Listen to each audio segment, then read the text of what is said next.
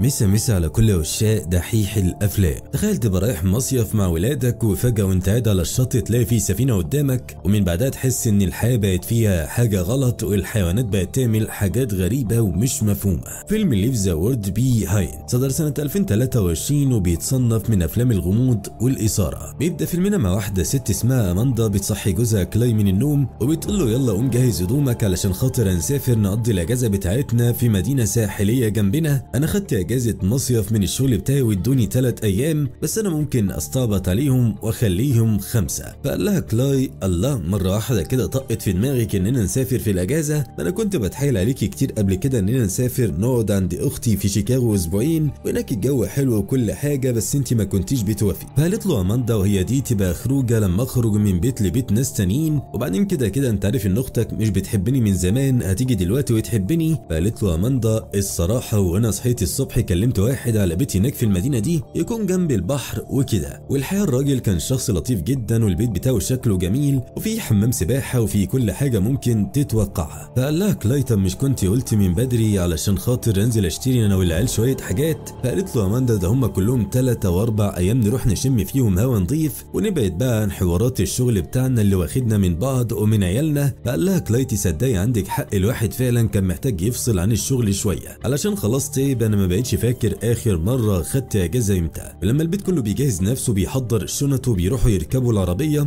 ساعتها اماندا بتقول لهم المدينة اللي إحنا رايحينها دي بعيدة عن باقي الناس. علشان كده لما نروح هناك مش هتلاقوا ناس كتير هناك. وبيكون عند أماندا وكلاي ولد اسمه أرتشي وده بيبقى 24 ساعة ماسك التليفون. وقاعد على النت وعندهم بنت اسمها الروزي ودي بتبقى 24 ساعة هي كمان ماسكة التابلت بتاعها. وبتقعد تتفرج على مسلسلات Netflix وأكتر واحدة بتخلص باقة النت في البيت. وأول ما بيوصلوا البيت هناك بيكون كبير جدا وكلاي واماندا والعيال بيبقوا مبهورين جدا فيه بس طبعا مش بتبقى كل حاجة متاحة ليهم في البيت لأنهم مجرد ثلاث أو أربع أيام وهيسيبوه ويمشوا. وبتقول أماندا لكلاي إيه رأيك بقى؟ لها كلاي يا ريت بجد كل أجازة نيجي نقضيها في البيت ده علشان بجد البيت روعة. فقالت له أماندا أي خدمة؟ وقررت إنها تروح تشتري شوية حاجات من ال hyper اللي موجود في المدينة. ولما بتروح هناك وبتشتري أماندا الحاجة اللي هي عاوزاها وقتها بتشوف راجل كده لابس طاقيه وكان شاري حاجات كتيرة قوي لدرجة إن العربية بتاعته اتملت على آخرها. ولما لاحظ الراجل أماندا وهي بتبص عليه راحت أماندا عاملة نفسها من بنها وركبت العربية ومشيت. وتاني يوم بيروحوا بعد كده للشاطئ وبيكونوا مبسوطين بالجو قوي. وساعتها روزي وارتشي هما كمان كانوا مبسوطين. وقتها بتشوف روزي سفينة ضخمة من بعيد فبتقول لأخوها إن السفينة دي شكلها حلو قوي. فقال لها أرتشي آه تصدقي عندك حق. في الوقت اللي كانوا كلهم نايمين ساعتها بتلاحظ روزي إن السفينة كل شوية عمالة تقرب وتقرب جامد. فساعتها اماندا راحت بسرعة مصحية كلاي وابنها ارتشي وراحوا شايلين الحاجة بتاعتهم وفضلوا يجروا من السفينة علشان ما تخبطش فيهم. وقتها باقي الناس اللي على الشاطئ هم كمان فضلوا يجروا ويصرخوا لأنهم يترعبوا من اللي السفينة عملته. والسفينة دي فضلت ماشية على الشاطئ لحد ما راحت الرملة موقفاها. وبعدها بتوع الأمن اللي مسؤولين عن الشاطئ راحوا مخرجين الناس كلهم وقالوا لهم معلش علشان حصل عطل في السفينة مفاجئ علشان كده حصل اللي حصل. ولما بيروحوا بتروح أماندا تفتح اللابتوب بتاعها علشان تقعد على النت. بس وقتها ما لقيتش النت شغال فقالت لكلاي أنت تعرف تشغل لي النت علشان محتاجاه؟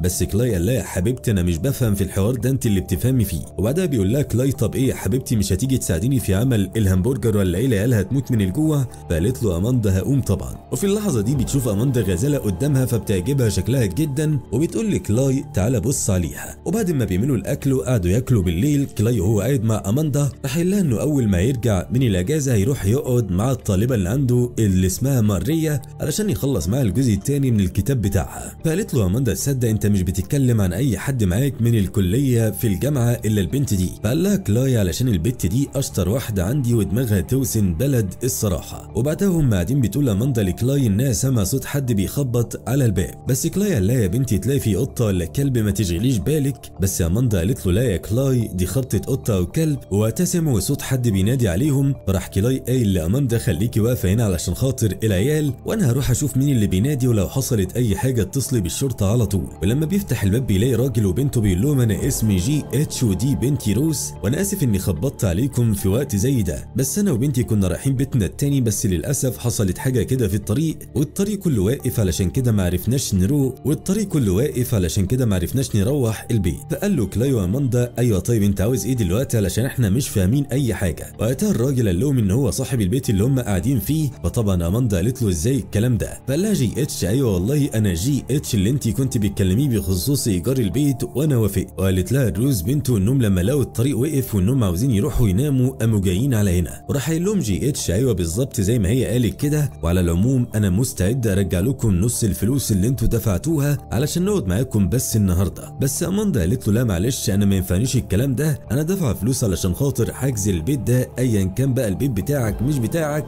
حاجة ما تخصنيش وأنا أروح أتصل بالشركة اللي عن طريقها استلمت الشقة وهي تتصرف. بس جي إتش قال لها ملوش داعي على فكرة اللي انت بتعمليه ده هو مجرد بس ظرف حصل لي أنا وبنتي وما لقيناش أي حل غير إننا نيجي هنا. بس كلاي قال لهم خلاص عادي مفيش مشكلة اقعدوا معانا. بس هنا راح جي إتش قايل له لا أنتوا لازم تاخدوا حقكم. وقام رايح فاتح الباب بتاع الحاجة اللي لما جه كلاي يفتحه قبل كده ما عرفش. وراح جي إتش مطلع لهم الفلوس وقال لهم شوفوا أنتوا عاوزين كام وأنا معاكم في أي حاجة. بس أماندا قالت له على فكرة الحوار مش حوار فلوس خالص زي ما انت فاكر؟ الفكرة في إني فجأة أنا وجوزي وعيالي يجي حد غريب يقعد معانا ولما بتطلع فوق أماندا تتكلم مع كلاي راحت قايلة له أنت ليه قلت لهم يقعدوا معانا؟ فقال لها كلاي يا حبيبتي الراجل بيقول لك إنه صاحب البيت. فما ينفعش نقول له لا ما تقعدش دي هتبقى قلة ذوق مننا يعني. فقالت له أماندا وأنت إيش عرفك إنه صاحب البيت مش يمكن يكون نصاب وبيعمل الفيلم ده علينا علشان ياخد البيت أو يسرقنا؟ بس كلاي قال لها يعمل علينا حوار ليه يعني؟ وبعدين أديكي شايفة الكهرباء قطع بره ومش عارف يرجع بيته اللي قال لنا عليه. وبعدين فتح الباب قدامنا اللي فيه الحاجة وطلع لك منه فلوس. فقالت له اماندا كل ده مش داخل دماغي على فكرة وممكن يكون سفراجي ولا حاجة ومعاه نسخة من المفاتيح بتاعت كل حاجة في البيت. بس كلاي قال لها خلاص يا ست أنا هشوف أنا الحوار ده وبكرة الصبح هم يمشوا ولما بينزل كلاي وأماندا علشان يتكلموا مع جي إتش إن راحت أماندا قايلة طب إحنا موافقين إنكم تقعدوا معانا. بس معلش أنا محتاجه اي اثبات شخصية ليك علشان بس أطمن شوية لأن عندي عيال وطبيعي هخاف عليهم. فقال جي إتش أيوه طبعا من حقك بس صدقيني أنا الجاكيت اللي كان فيه البطاقة بتاعتي نسيته في الحفلة قبل ما أجي على هنا أنا وروز في الوقت ده لما جت روس تفتح التلفزيون شافت خبر بيقول إن الإشارة بتاعت التلفزيون والتليفونات فيها عطلة وإنهم بيحاولوا يصلحوا العطل ده في أسرع وقت ممكن. راح وقتها جي إتش وأماندا وكلاي يشوفوا الخبر ده وهنا راح قايل لهم كلاي على ما أظن كده أنتوا هتقعدوا في البيت النهارده. فقال له جي إتش حبيبي تسلم وأنا هنزل أنا وروز بنتي نبات في الأوضة اللي تحت. لما بينزل جي إتش وبنته تحت راحت قايله له يعني إحنا نبقى البيت ده كله بتاعنا يا بابا وننزل نقعد في الأوضة؟ فقال لها ابوها أيوه يا بنتي علشان الناس اللي فوق مأجرين البيت وما ينفعش نخرجهم منه. لو حتى افترضنا إنهم هيخرجوا إحنا هندفع ليهم مبلغ كبير جدا علشان خاطر خالفنا العقد. فقالت له طب تمام خلاص هستحمل الثلاث أيام دول يعدوا لحد ما يمشوا. بس شوف ماما هتوصل إمتى علشان خاطر وحشتني قوي فقال لها أبوها أول ما الشبكة ترجع هتصل عليها على طول. وفي نفس الوقت كانت اماندا لسه الشيطان بيلعب في دماغها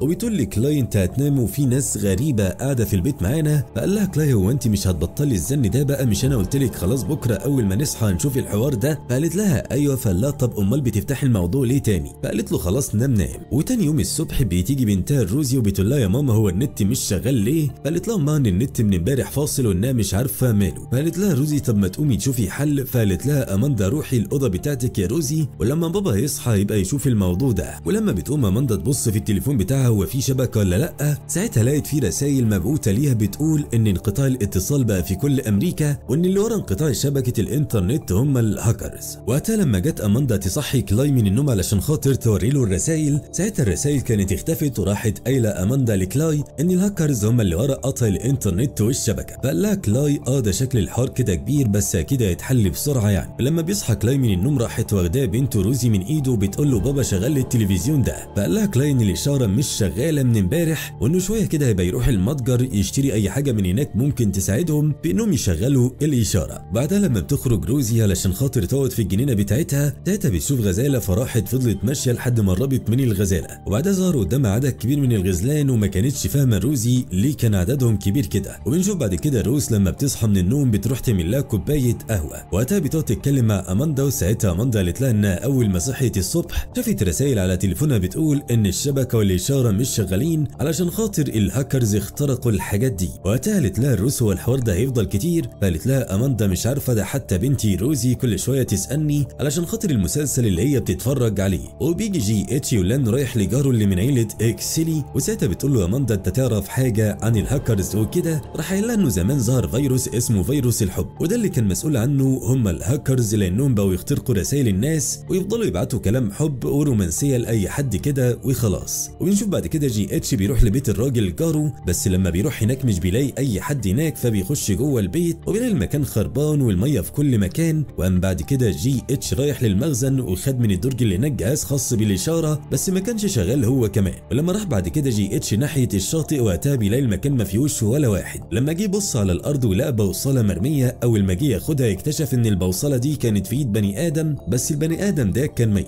ولما بص جي إتش حواليه لقى في كتير من الجثث ووقتها شاف من بعيد في طيارة بتقع فقام جري بسرعة لحد ما استخبى جوه بيت كده والطيارة قامت متفجرة. في اللحظة دي كان كلاي رايح المتجر يشوف حوار الإشارة وكده. بس هو ماشي لقى ست واقفة على الطريق ولما وقف لها فضلت الست دي ترغي معاه كتير. هو مش فاهم منها أي حاجة فراح سايبها وماشي. وهنا لاحظ كلاي إن في طيارة عمالة تنزل ورق كتير في المكان. فقام كلاي واخد العربية بتاعته وفضل يجري من الورق ده قبل ما يقع عليه. في نفس الوقت ده كانت روزي خدت أخوها ارتشي وقالت له إنها شافت كذا غزالة امبارح. فقال لها ارتشي أيوه المفيد في الموضوع. فقالت له روزي مش عارفة. وبعد كده الاتنين بيخشوا الأوضة كده شكلها غريب ومش بيكونوا عارفين إيه المكان ده ولا مين اللي عايش فيه. وبعد كده بنرجع مرة ثانية لجي اتش اللي لما بيرجع بيكون هدومه مبلولة كلها. فقالت له روز إيه اللي حصل لك يا بابا؟ فقال لها إنه وقع في المية وهو مش واخد باله. لما قامت روز علشان تجيب له هدوم علشان يغير راح جي اتش قايل لاماندا إنه لما راح لجاره ما لقاهوش هناك وإن الشاطئ اللي جنبه لقى فيه جثث كتيرة وإن أي طيارة بتعدي من المكان ده بتروح واقعه فيه. وساعتها هما بيتكلموا مع بعض بيسمعوا صوت جامد جدا مش بيقدروا يسمعوا أي حاجة من بعده. وبيكونوا كلهم متأثرين بالصوت ده حتى روزي وأخوها. أول ما ده بيختفي قامت رايحة أماندا لعيالها علشان خاطر تطمن عليهم. لما بيقعدوا مع بعض وبيقولوا عيالها هو فين بابا راحت قايلة لهم إنه شوية وجاي. وبعد كده راحت أماندا قايلة لجي إتش إن في حاجة مش مفهومة بتحصل. وإن إيه الصوت اللي هم سمعوه ده؟ فقال لها جي إتش إنه زيه زيها مش عارف أي حاجة. فقالت له إزاي بتقول مش عارف وأنت لسه قايل إن أنت شفت طيارة واقعة وكل اللي فيها ماتوا؟ فقال لها أنا قلت لك على اللي شفته بس مش أكتر. وساعتها روز اتضايقت لأن أمها المفروض إنها راكبة طيارة وجاية ليهم وهنا بيرجع كلاي البيت وقتها بتروح أماندا تطمن عليه ولما قالت له انت كنت فين؟ راح لها أنا كنت رايح المتجر زي ما قلت لك بس سمعت الصوت الفظيع ده علشان كده رحت راجع. وتاني يوم الصبح راحت أماندا وعيلتها مجهزين شنطتهم علشان خاطر يمشوا من البيت. ولما حاول جي اتش يقنعهم إنهم يقعدوا معاه لحد ما الأمور تتظبط بس هم ما وافقوش. بس هم ماشيين وقتها شافوا الطريق واقف قوي والعربيات كلها مش بتتحرك. فراحت أماندا نازلة من العربية علشان تشوف في إيه وساعتها شافت إن مفيش أي حد من الناس في العربيات. لما بصت على العربية فيهم لقيت مكتوب عليها انها لسه جديدة وبي شافت عربية جاية بسرعة كبيرة عليهم فراحت قايلة لكلاي إنه يركب العربية بسرعة وراحت مدورة بالعربية وفضلت تحاول إنها ما تخليش أي عربية تخبط فيهم لحد ما قرروا إنهم يرجعوا لجي إتش وبنته مرة تانية علشان يقعدوا معاهم وتاني يوم لما بيصحى ارتشي من النوم بيحس إن في حاجة غريبة في بقه ولما مسك سنانه لقى أسنانه عمالة تتكسر واحدة ورا واحدة وبتخرج في إيده وساعتها أمه كانت خايفة عليه قوي وراحت منادية على كلاي اللي أول ما جه راح قايل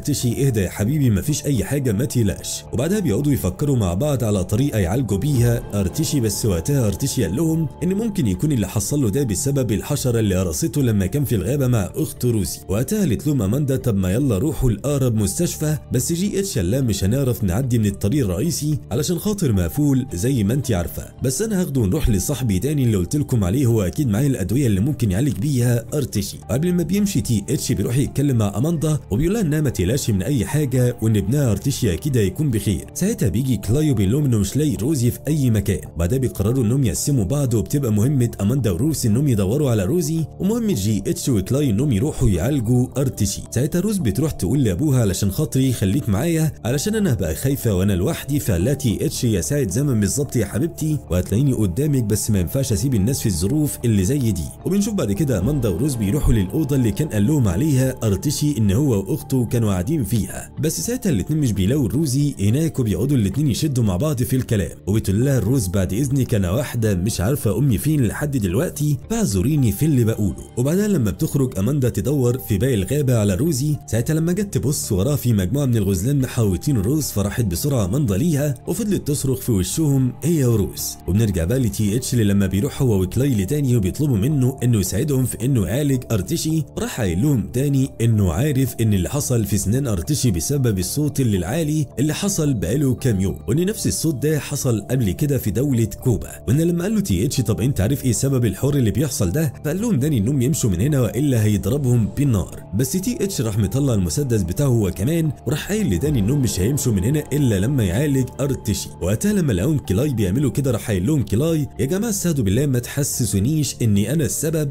وبعدين أنا واحد دلوقتي مش عارف ولا فاهم إيه اللي بيحصل حوالينا. ابني أرتشي سنانه بتقع منه شكله تعبان قوي ومش قادر اعمل له أي حاجة. وبنتي التانية روزي عمالين ندور عليها ومش لاقيينها لحد دلوقتي ومش عارفين هي راحت فين بالظبط ولا إيه اللي حصل لها. فعلشان خاطر يا أستاذ داني شوف لنا أي حل لأرتشي. واوعدك بعد كده إنك مش هتشوف وشنا مرة تانية ولا هنا ولا في أي حتة. وفضل يتحايل عليهم علشان خاطر يهدوا لحد ما في الآخر الاتنين ربنا هداهم. وراح داني مدي لكلاي شوية حبوب كده يديها لأرتشي على أمل إنه يخف من اللي هو فيه لحد ما بيجوا الاتنين يمشوا من عند داني. وساعتها كلاي بيقول لي TH إحنا المفروض هنعمل إيه بعد كده؟ فقال له TH انهم يروحوا للحصن اللي قال لهم عليه داني. وبعد كده بنشوف أماندا وروز بيروحوا يدوروا على روزي بس برضه مش بيلاقوها لحد لما وصلوا لمكان قدام المدينة ولقوها بتتحرق وكانوا بيستغربوا من اللي هم شايفينه. وفي الآخر بنشوف روزي وهي عمالة تمشي في الطريق لحد ما وصلت لبيت كده ودخلت فيه وبتكون مبهورة بمنظر البيت على الآخر. ولحد هنا بيكون خلص فيلمنا وأكيد طبعا كله هيقول النهاية الغامضة دي. بس أكيد مع أقرب وقت هيتم عمل الجزء الثاني لحد هنا يكون خلص فيلمنا يا ريت تشاركونا آرائكم في ال comments. عايزين تتفرجوا على أفلام إيه الفترة اللي جاية؟ وأشوفكم في فيلم جديد بكرة ومع السلامة.